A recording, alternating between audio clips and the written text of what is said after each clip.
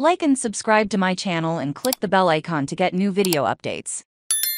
A local screen Frameborder equals Baku, Azerbaijan, April 27. The Heydar Aliyev Center hosted the opening ceremony of the grandiose exhibition of works by one of the most famous artists of the 20th century, Salvador Dali, with the theme, Surrealism is Me, Trend reports. The exhibition of the ingenious the Spanish painter, graphic artist, sculptor, director and writer, one of the most famous representatives of Surrealism, Salvador Dali first presented in Azerbaijan, attracted great public interest. Among the guests were representatives of state and public organizations, diplomatic missions personalities from culture and science, creative intelligence and youth.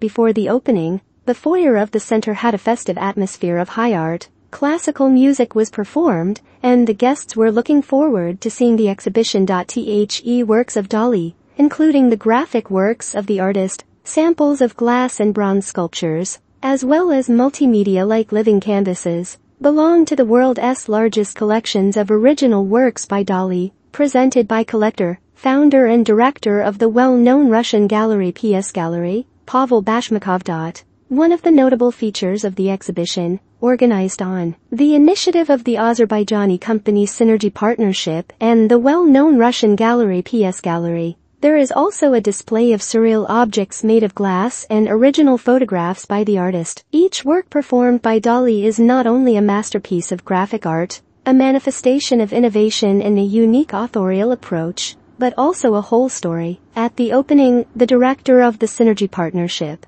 Rufat Abbasov underlined the great importance of the exhibition and thanked the Heydar Aliyev Center for the support. In realizing the project. Salvador Dali was an artist who broke standards and inspired future generations and changed our world view of art through surrealism. As the artist said, surrealism is me. For 15 years, Synergy Partnership has implemented many